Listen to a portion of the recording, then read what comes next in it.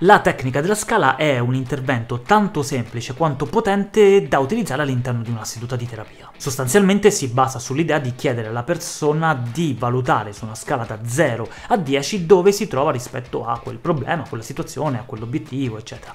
è abbastanza facile ma non semplice perché può raggiungere dei livelli di complessità enorme, essere usato in diverse situazioni, per diversi obiettivi, in diversi contesti e così via. Potremmo fare 10 video e non aver fatto ancora una spiegazione sufficientemente ampia di come può essere utilizzata la tecnica della scala, però, però qualche idea la possiamo tirare fuori, io ne tiro fuori tre, tre idee, tre modi di utilizzare la tecnica della scala in seduta, se te ne vengono altri poi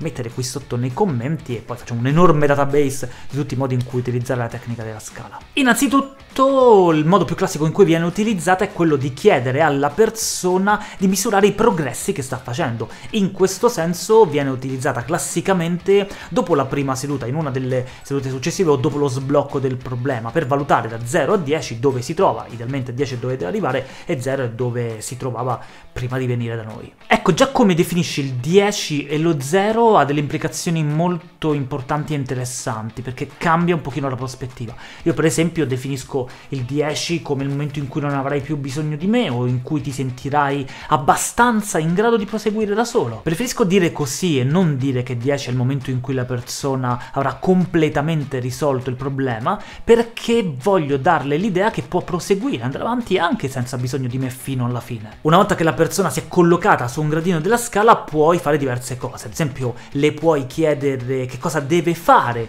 per salire di un gradino più in su oppure che cosa noterà nel momento in cui si troverà un gradino più in su. Sembra la stessa cosa ma sono due domande molto diverse. Se le chiedi che cosa deve fare sta implicando un suo ruolo molto più attivo, cioè che lei dovrà fare delle cose per stare un gradino più in su e che ti aspetti che lei sia in grado di farle. Se invece le chiedi che cosa noterà nel momento in cui sarà un gradino più in su, le stai chiedendo un ruolo più passivo, di notare quali saranno i cambiamenti che avverranno spontaneamente nella sua vita. Sono delle sottilezze, ma in realtà sono molto importanti, perché a seconda della persona che hai di fronte può essere più utile in certi momenti o lungo tutta la terapia utilizzare l'una o l'altra formula. Eh, ci si potrebbe tornare su in un altro video perché è molto interessante esplorare questa implicazione, se ti va dimmelo che ci torniamo su. Un secondo modo per utilizzare la tecnica della scala è quella di chiedere alla persona dove si trova, su quale gradino, per poi andare a esplorare come ha fatto ad arrivare lì.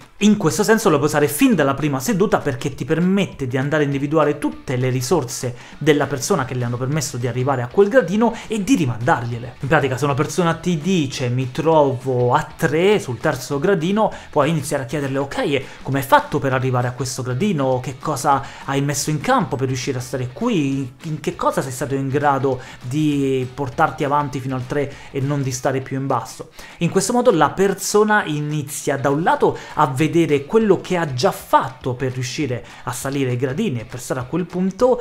e si rende soprattutto conto di essere in grado di farlo. Un terzo modo per utilizzare la tecnica della scala è quella di spezzettarla in più sottoscale. Ad esempio, se la persona ti dice che lei arriverebbe a 10 nel momento in cui avrà mm, raggiunto un successo lavorativo, sistemato la situazione col partner e ripresa a fare tutta una serie di hobby, puoi chiederle di dividere in tre sottoscale la sua valutazione. Questo è molto utile per dividere un macro obiettivo in diversi micro obiettivi, così che la persona peraltro si possa rendere conto degli avanzamenti avanzamenti in diverse situazioni e poi magari si rende conto che in alcune sottoscale è molto più in alto rispetto ad altre. Queste sono davvero delle idee di base su come utilizzare la tecnica della scala. In letteratura ne trovi tantissime, a dozzine, soprattutto nella letteratura specifica della terapia breve centrata sulla soluzione, che probabilmente è la forma di terapia breve che più di tutte utilizza la tecnica della scala. Lo scopo principale ovviamente non è quello di avere una valutazione oggettiva della situazione della persona, ma più una valutazione soggettiva oggettiva per sapere dove si trova rispetto a un futuro desiderato, che cosa ha fatto per arrivarci e che cosa può fare per fare un gradino in più.